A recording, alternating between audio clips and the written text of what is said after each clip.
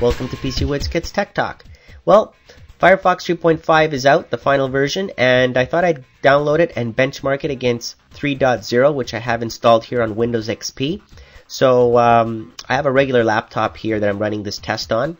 I've got 3.0.11 installed. It's an Intel dual core that I'm running, and um, I'm going to run the FutureMark Peacekeeper test first to see how many points we get, and it's obviously 512 points that are broken down into different categories of tests, of course, and uh, you can see it right here. Now, of course, if you have a different uh, PC, if it's Windows Vista, Windows 7, if it's faster hardware, obviously you're going to get different points. But at the end of the day, we're comparing browsers, not PCs or OSs. Now, I upgraded to the version 3.5 of Firefox, and you can see here that on the same machine, same OS, double almost, 900 points. So obviously there's been some significant improvements from 3.0 to 3.5. And uh, you can see it right here. Now just to confirm all that, I run the SunSpider JavaScript benchmark that gives a little bit more variety of real world balanced tests, right? So we wanted to do that.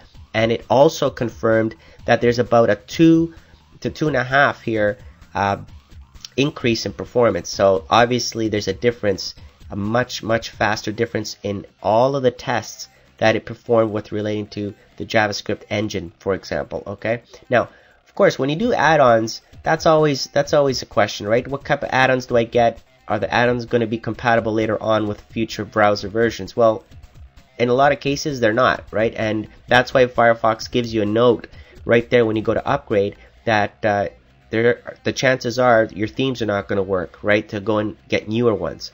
But when it comes to the extensions and the add-ons, I did update those in 3.5 and um, those worked fine. Okay, so my extensions, those add-ons like these, the download helper, the no script, uh, the ad blocker, those ones worked fine, but my themes did not. So I'll just have to go out and get some more themes from the um, from the website. No big deal.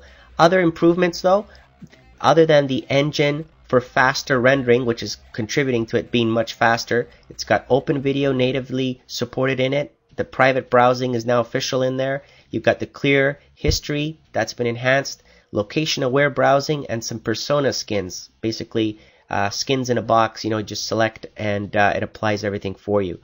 Uh, if you want to download it, mozilla.com, of course. And I'm going to try out all these new features and I'll make a second video about all of those, okay? So uh, I hope you enjoyed this video and thank you for watching.